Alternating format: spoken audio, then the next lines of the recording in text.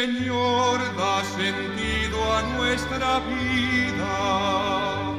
Tu presencia nos ayuda a caminar. Tu palabra es fuente de agua viva. Que nosotros sedientos a tu mesa venimos a buscar.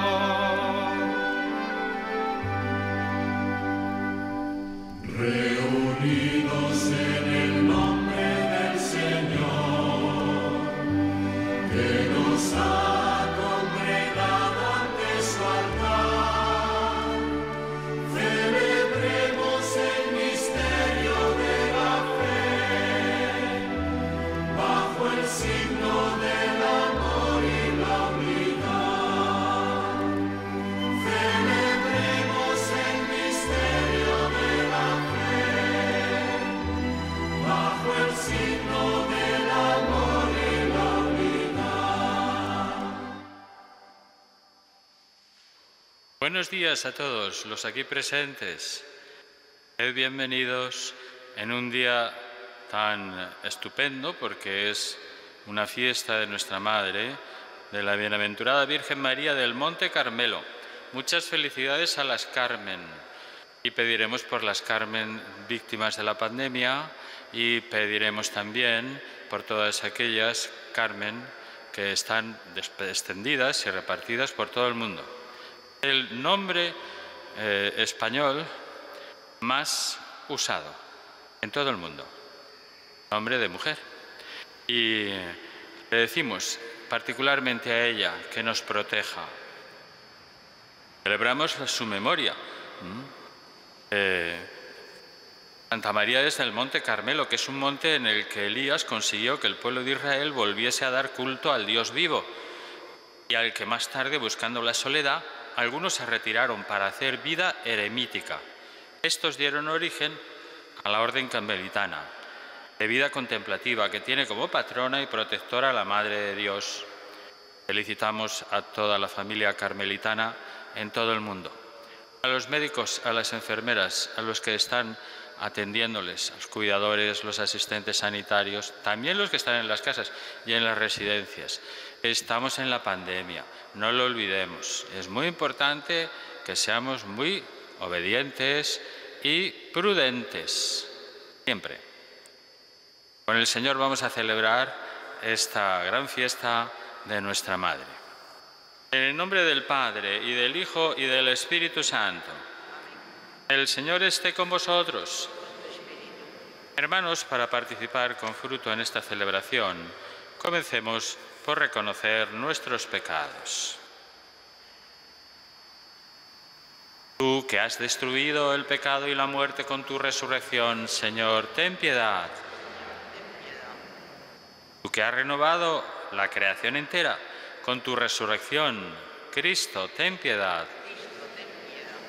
Tú que das la alegría a los vivos y la vida a los muertos con tu resurrección, Señor, ten piedad.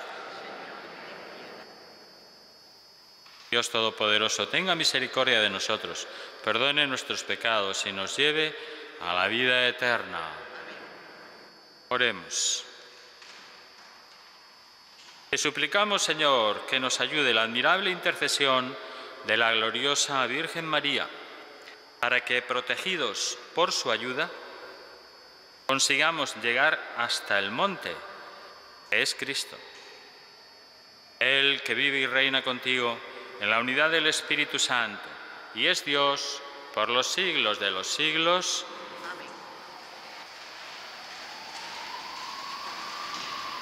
Lectura del libro de Isaías. La senda del justo es recta. Tú allanas el sendero del justo. En la senda de tus juicios, Señor, te esperamos ansiando tu nombre y tu recuerdo. Mi alma te ansía de noche. Mi espíritu en mi interior madruga por ti, porque tus juicios son la luz de la tierra y aprenden la justicia los habitantes del orbe. Señor, tú nos darás la paz, porque todas nuestras empresas no las realizas tú. Señor, en la angustia acudieron a ti susurraban plegarias cuando los castigaste. Como la embarazada cuando le llega el parto, se retuerce y grita de dolor. Así estábamos en tu presencia, Señor. Concebimos, nos retorcimos, dimos a luz, viento. Nada hicimos por salvar el país, ni nacieron habitantes en el mundo. Revivirán tus muertos, resurgirán nuestros cadáveres, despertarán jubilosos los que habitan en el polvo, pues rocío de luz es tu rocío que harás caer sobre la tierra de las sombras. Palabra de Dios. El Señor desde el cielo se ha fijado en la tierra. El Señor desde el cielo se ha fijado en la tierra. Tú permaneces para siempre y tu nombre de generación en generación. Levántate y ten misericordia de Sión, que ya es hora y tiempo de misericordia. Tus siervos aman sus piedras, se compadecen de sus ruinas. El Señor desde el cielo se ha fijado en la tierra. Los gentiles temerán tu nombre, los reyes del mundo tu gloria. Cuando el Señor reconstruya Sión y aparezca en su gloria y se vuelva a las súplicas de los indefensos y no desprecie sus peticiones. El Señor desde el cielo se ha fijado en la tierra. Quede esto escrito para la generación futura y el pueblo que será creado alabará al Señor, que el Señor ha mirado desde su excelso santuario, desde el cielo se ha fijado en la tierra para escuchar los gemidos de los cautivos y librar a los condenados a muerte. El Señor desde el cielo se ha fijado en la tierra. Aleluya,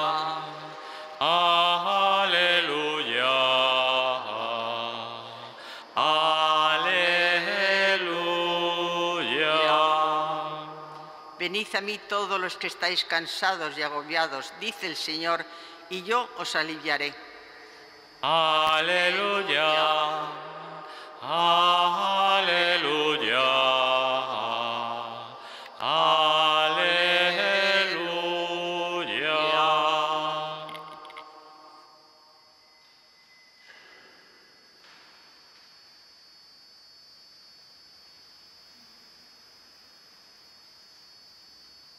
Señor esté con vosotros. Lectura del Santo Evangelio según San Mateo. En aquel tiempo tomó la palabra Jesús y dijo, Venid a mí todos los que estáis cansados y agobiados, y yo os aliviaré. Tomad mi yugo sobre vosotros y aprended de mí, que soy manso y humilde de corazón y encontraréis descanso para vuestras almas. Porque mi yugo es llevadero y mi carga ligera.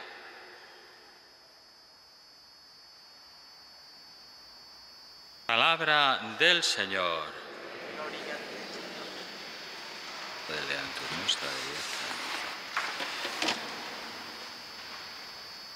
Isaías nos habla de la situación que el Señor hará resurgir dentro del pueblo elegido y dentro de su iglesia. Despertarán jubilosos los que habitaban en el polvo. Ante aquella situación tan tremenda, conservaban la esperanza. Señor, tú nos darás la paz porque todas nuestras empresas nos las realizas tú. Eso es muy importante. Saber que el Señor es el que llevará a cabo toda la reconstrucción, la restauración y a través de nuestra Madre Santa María es como nos va recordando esta realidad. Nosotros nos podemos preguntar en estos momentos, si tú te has fijado, Señor, que estás en el, cielo y con nosotros, cómo está la tierra y cómo estamos ahora, es muy importante que nos diga qué tenemos que hacer. El día de la Virgen del Carmen, ¿qué tengo que hacer? El día en que además nuestra Madre, que es patrona de todos los pescadores, ¿no? es patrona de todo el apostolado del mar, es patrona de los trabajadores del mar, que es encantador ese trabajo. Si alguna vez tenéis la oportunidad, no dejéis de acudir a ayudarles y a participar. Y vamos a rezar por ellos. Pues, ¿qué tengo que hacer? Nos lo ha dicho Jesús en el Evangelio, cuando toma la palabra y dice, venid a mí. Y venid a mí todos los que estáis cansados y agobiados, nos pasa ahora, Señor. Y a continuación añade, tomad mi yugo sobre vosotros y aprended de mí, venid a mí, aprended de mí. Ese es el camino. Nuestra madre nos lo recuerda ella misma. Benedicto XVI nos hablaba de este punto porque explica que, que el Señor quiere que vayamos a Él. Jesús pide ¿eh? que vayamos a Él, que esta es la verdadera sabiduría, a Él que es manso y humilde de corazón y propone su yugo, que es el camino de la sabiduría del Evangelio. Decía, que no es una doctrina que hay que aprender o una propuesta ética, sino una persona a la que hay que seguir. Eso es venid a mí. ¿Mm? Y el yugo es encontrarse con, el Señor y seguir a Jesús que está vivo. No es una doctrina que hay que aprender o una propuesta ética, es mucho más que eso, sino una persona a la que tengo que seguir. Él mismo, el, el Hijo unigénito, en perfecta comunión con el Padre. Queridos hermanos, decía él, y hermanas, ¿hemos gustado la riqueza de esta oración de Jesús? Pues que también nosotros, con el don de su Espíritu, podamos dirigirnos a Dios en la oración con confianza de hijos, invocándolo con el nombre de Padre, Abba. Pero debemos tener el corazón de los pequeños, los pobres de espíritu, para reconocer que no somos autosuficientes, que no podemos construir nuestra vida solos, que necesitamos de Dios, que necesitamos encontrarle, escucharle y hablarle. Ese es el camino. Venid a mí ¿En medio de la pandemia? Sí, por la mañana, por la tarde, por la noche. Ahora que hay las dificultades que vuelven a aparecer porque hay rebrotes y vuelve otra vez a brotar de alguna manera, eh, pues porque las epidemias son así no tenemos mucha experiencia, porque no hemos pasado otra. Pero el Señor nos está pidiendo, acércate, venid a mí, durante el día sí, cuando vas a la compra, cuando vas en el metro, cuando estás en casa, cuando estás atendiendo a un enfermo, cuando estás en el hospital, cuando suena el timbre, cuando vienen las enfermeras, cuando te están limpiando, cuando estás siendo atendida por tus cuidadores. Venid a mí. Y segunda parte, que nos dice la Virgen del Carmen y que tenemos que tener muy presente, aprended de mí. La oración, decía Benedicto XVI, nos abre a recibir el don de Dios, su sabiduría, que es Jesús mismo para llevar a cabo la voluntad del Padre en nuestra vida y encontrar así, lo dice el Señor, reposo en las fatigas de nuestro camino. Bueno, pues en este día, con motivo de esta gran festividad de la Estela Maris, la patrona de los marineros, cada 16 de julio en muchos países el pueblo honra con saetas, con procesiones, con ofrendas y rezos a la Reina de los Mares, pidiendo protección y amparo en los momentos más duros del día y sobre todo cuando tenemos dificultades como la pandemia, momentos de angustia y dificultad. El Santo Padre, el actual Papa Francisco, con motivo de, la Virgen del Carmen, suele enviar un tuit, que es una pequeña frase que por la red se, se extiende. El año pasado decía, hoy la fiesta de la Virgen del Carmen contemplamos a Nuestra Señora junto a la cruz de Cristo. Bueno, pues justo lo que nos pasa. Ese es también el lugar de la iglesia, al lado de Cristo, al lado de Cristo. Ahí tenemos que estar entregándonos, dándonos, amando a los demás, sirviendo a los demás y despiertos. No diciendo esto ya ha pasado, ya fue una mala noche en una mala pasada, como decía Santa Teresa. No, es, esto está continuando. ¿eh? Y queremos efectivamente responder, responder porque a nuestra madre la tenemos al lado. El culto y la devoción a la Virgen del Carmen es muy antiguo, se remonta a los orígenes de la orden camelitana, cuya tradición más antigua se relaciona, ya lo acabo de decir, con aquella pequeña nube como la palma de la mano de un hombre que subía desde el mar, lo cuenta el libro de los reyes, el primero del libro de los reyes, y que se divisaba desde la cumbre del monte Carmelo. El Monte Carmelo no es un monte, el monte es una cordillera. Si vais alguna vez a, Tierra Santa veréis que cuando para ir al Monte Carmelo hay que recorrer una cordillera, es una cordillera muy larga, casi 26 o 27 kilómetros, ¿no? Pues, y ahí hay un monte que es más alto, se le llama el Monte Carmelo, pero en fin, a ellos le llaman a toda la cordillera. Mientras el profeta Elías suplicaba al Señor que pusiese fin a una larga sequía, aparece esa nubecilla que después se transforma en una gran tormenta. La nube cubrió rápidamente el cielo, trajo la lluvia abundante a la tierra sedienta durante tanto tiempo, pues en esa nube cargada de bienes se ha visto la figura de la Virgen María. Si nosotros ahora nos, detuviéramos un momento y tomáramos un papel y en el papel escribiéramos cuántas cosas me ha hecho a mí la Virgen desde pequeño o desde pequeña, desde que era una chiquita o era una niña o era un bebé, de lo que me acuerdo, podríamos escribir un libro, ¿eh? Podríamos escribir un libro. Es la nube por donde nos llegan todos los dones, es nuestra madre y la que está continuamente enviando. Así dio lo más grande que tenemos al Salvador del mundo, ella fue de esa manera portadora del agua viviente de la que estaba sedienta toda la humanidad. Y es la que nos trae continuamente bienes incontables y no para.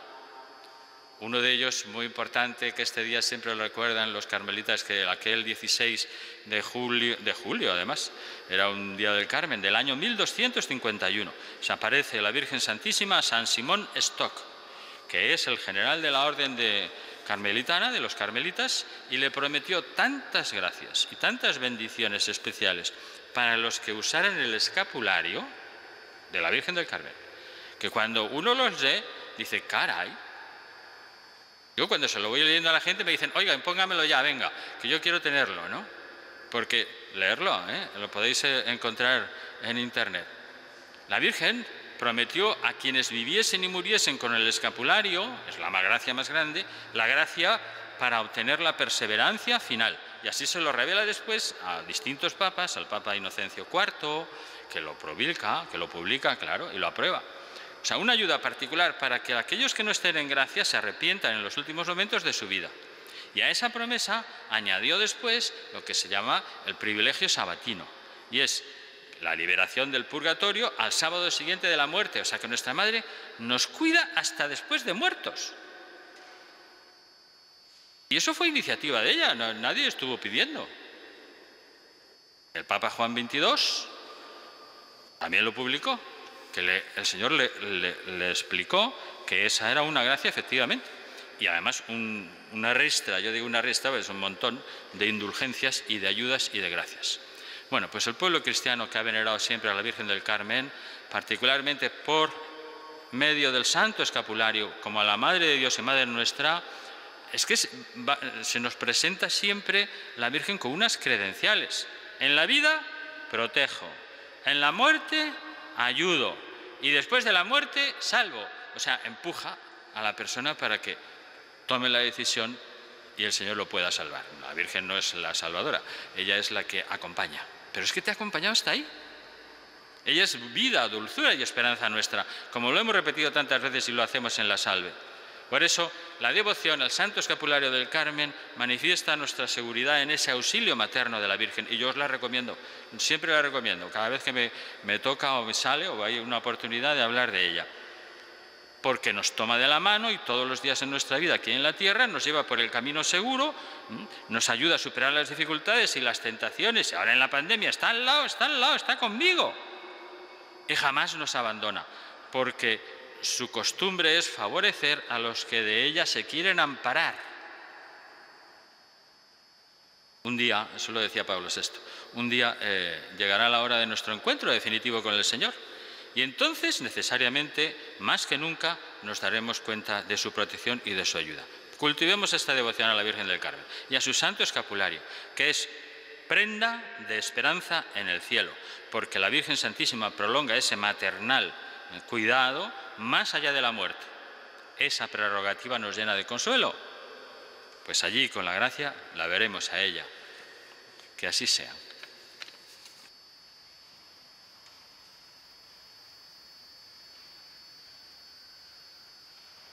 Dios, Padre de los pobres y de los humildes, ha elegido a María para templo de su gloria.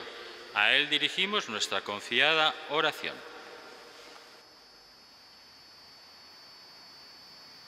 por la Santa Iglesia, para que acogiendo con humildad y fe el don de la salvación, sea cada vez más canal de gracia y de perdón para la humanidad, roguemos al Señor. por todos los pueblos de la tierra, para que al compartir los bienes materiales, culturales y espirituales descubran el camino de fraternidad que Dios quiere para nosotros, roguemos al Señor. Por los más necesitados de nuestra sociedad, para que reciban la ayuda y el calor por parte de quienes como María consagran su vida al servicio de los demás, roguemos al Señor. Por todos nosotros, para que el espíritu de gratitud y alabanza que brilló en la Virgen María nos haga fieles y agradecidos tanto en los momentos de prueba como en los de la alegría. Roguemos al Señor.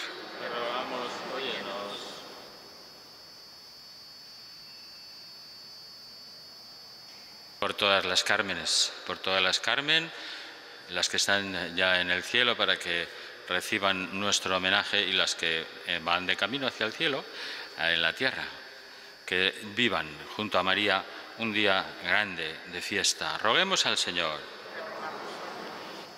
Por los que trabajan en los medios de comunicación para que se den cuenta de la importancia de su labor en estos momentos de prueba.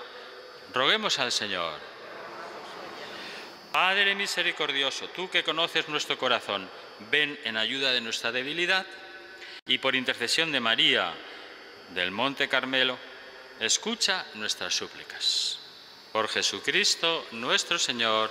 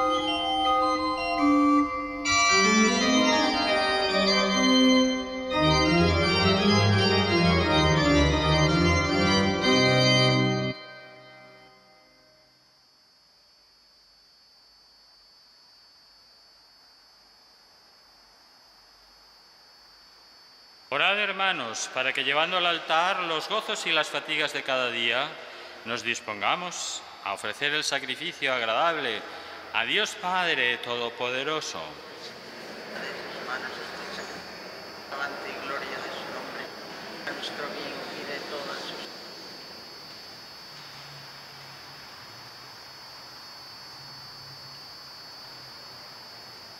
Te ofrecemos, Señor, los dones de reconciliación y alabanza, y te pedimos humildemente que, siguiendo el ejemplo de la bienaventurada Virgen María, nos presentemos como ofrenda santa agradable a ti. Por Jesucristo nuestro Señor. El Señor esté con vosotros. Levantemos el corazón. Demos gracias al Señor nuestro Dios. En verdad es justo darte gracias, es bueno cantar tu gloria, Padre Santo, Dios Todopoderoso y Eterno. Te alabamos y te bendecimos por Jesucristo, tu Hijo, en esta celebración de la bienaventurada Virgen María. Ella, como humilde sierva, escuchó tu palabra y la conservó en su corazón. Admirablemente unida al misterio de la redención, perseveró con los apóstoles en la plegaria, mientras esperaban al Espíritu Santo, y ahora brilla en nuestro camino como signo de consuelo y de firme esperanza. Por este don de tu benevolencia, unidos a los ángeles y a los santos, te entonamos nuestro canto y proclamamos tu alabanza. Santo, santo, santo es el Señor, Dios del universo. Llenos están el cielo y la tierra de tu gloria. Osana en el cielo. Bendito el que viene en nombre del Señor. Osana en el cielo. Santo eres en verdad, Señor, fuente de toda santidad. Por eso te pedimos que santifiques estos dones con la efusión de tu Espíritu, de manera que se conviertan para nosotros en el cuerpo y la sangre de Jesucristo nuestro Señor, el cual, cuando iba a ser entregado a su pasión voluntariamente aceptada, tomó pan, dándote gracias lo partió y lo dio a sus discípulos, diciendo, Tomad y comed todos de él, porque esto es mi cuerpo, que será entregado por vosotros.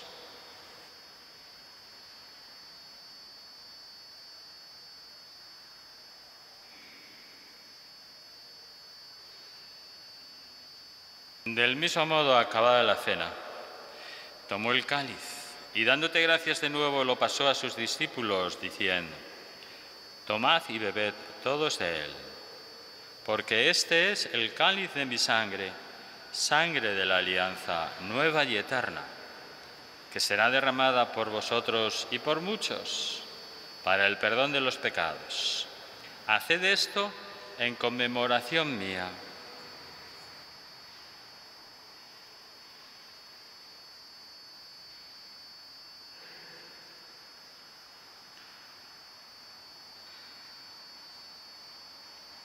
Este es el misterio de la fe.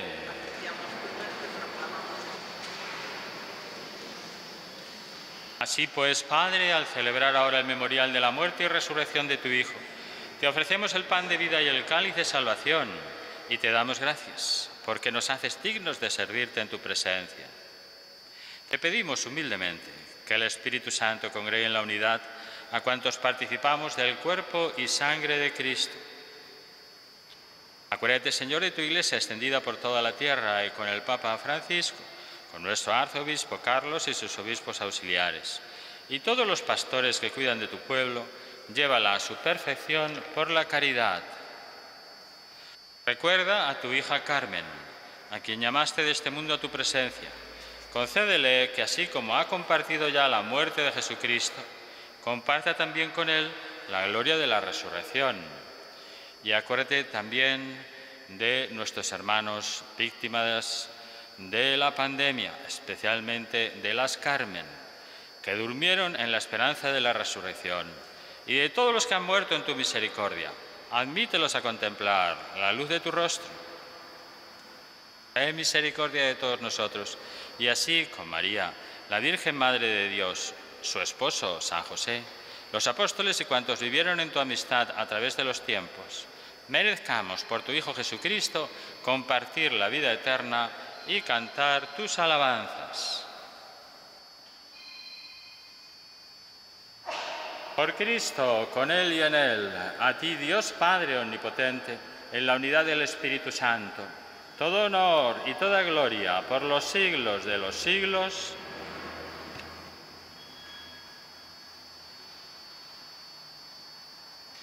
Antes de participar en el banquete de la Eucaristía, signo de reconciliación y vínculo, de unión fraterna, oremos juntos como el Señor nos ha enseñado. Padre nuestro que estás en el cielo, santificado sea tu nombre. Venga a nosotros tu reino. Hágase tu voluntad en la tierra como en el cielo. Danos hoy nuestro pan de cada día. Perdona nuestras ofensas, como también nosotros perdonamos a los que nos ofenden no nos dejes caer en la tentación y líbranos del mal. Líbranos de todos los males, Señor, y concédenos la paz en nuestros días, para que, ayudados por tu misericordia, vivamos siempre libres de pecado y protegidos de toda perturbación, mientras esperamos a la gloriosa venida de nuestro Salvador Jesucristo. Señor Jesucristo, que dijiste a tus apóstoles, la paz os dejo, mi paz os doy. No tengas en cuenta nuestros pecados, sino la fe de tu iglesia.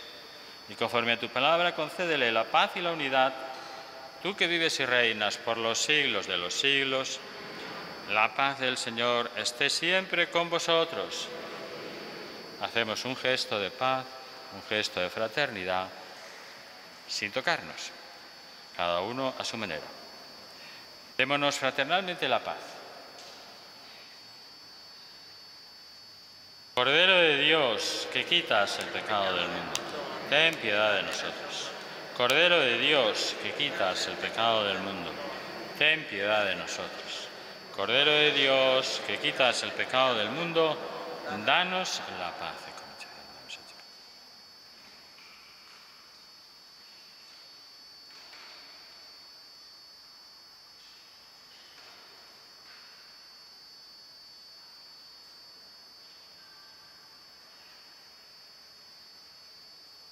Ahora, los que estáis postrados, no olvidéis de prepararos para hacer vuestra comunión espiritual.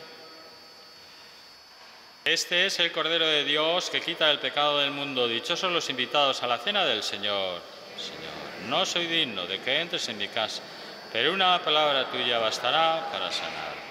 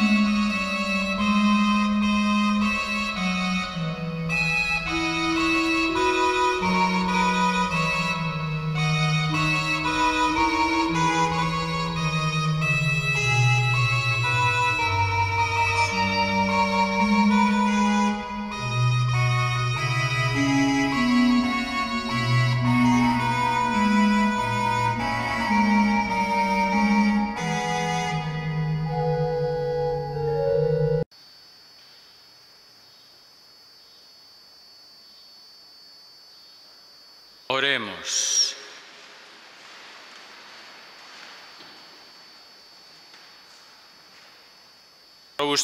Con el alimento celestial, haz, Señor, que te sirvamos con una vida santa, a ejemplo de Santa María, la Virgen del Monte Carmelo, y que con ella proclamemos tu grandeza con sinceras alabanzas. Por Jesucristo nuestro Señor.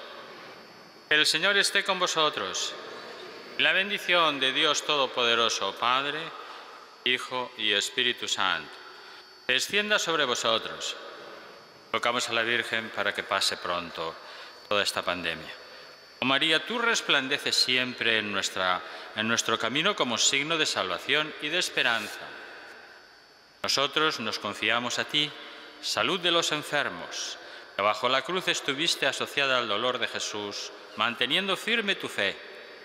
Tú, salvación de todos los pueblos, sabes de qué tenemos necesidad y estamos seguros que proveerás para que, como en Caná de Galilea, pueda volver la alegría y la fiesta después de este momento de prueba. Ayúdanos, Madre del Divino Amor, a conformarnos a la voluntad del Padre y a hacer lo que nos dirá Jesús, quien ha tomado sobre sí nuestros sufrimientos y ha cargado nuestros dolores para conducirnos a través de la cruz a la alegría de la resurrección. Bajo tu protección buscamos refugio. Santa Madre de Dios, no desprecies nuestras súplicas, que estamos en la prueba y libéranos de todo pecado. Oh Virgen gloriosa y bendita.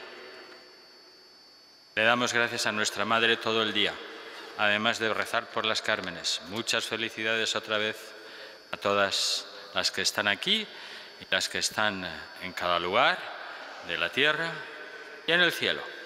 Podéis ir en paz.